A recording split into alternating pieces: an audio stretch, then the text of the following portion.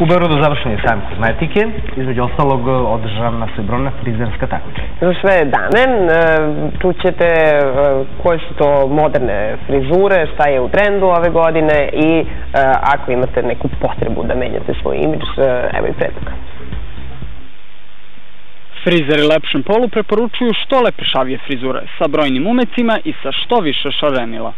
Ove sezone, nakon duže vladavine e, peglanih i ravnih frizura, u modu se vraćaju te neke, da kažem, visoke frizure, znači što lepršavije i š, znači, pre svega da budu negovane.